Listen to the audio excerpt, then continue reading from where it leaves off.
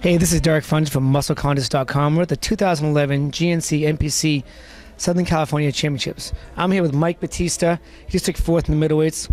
If you don't know Mike Bautista, he's been around for a long time, um, in and out of the sport, different reasons, different um, avenues, so to speak.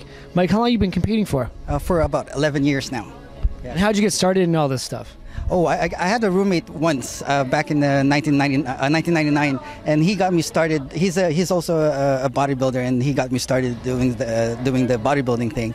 One time, I, I, I, watched him on the bodybuilding show that when what uh, when he entered that, and uh, I was like amazed, and I said I want to do that too. So, and then I, in 2000, my first show, he helped me uh, get into the bodybuilding industry, and it, it was it was it was sweet since then. Yeah. Yeah. And um, there's another thing about this. He also have a back interesting background of an Olympic sport. And what was that you did?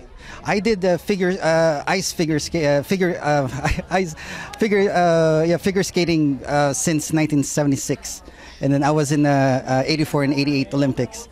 So you've been on some big big stages yourself, even before bodybuilding. So that's very interesting. And you also have another craft which is very interesting of sorts. What do you? What's one of your jobs? Is you know Mike has many jobs in the world. He's never going to be one employed. This is one guy you'll never see an unemployed. But uh, what's one of the things you do in bodybuilding that's a job? Um, I I uh, I make uh, I, I make and design a posing suit, like uh, you know like also for a figure and a bikini as well. Yeah.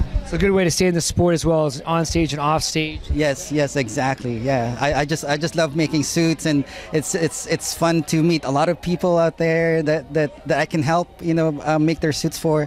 It's it's just amazing feeling. And what's the name of your suit company? I'd like to like you know. Yeah, it's a posing suit by Mishko.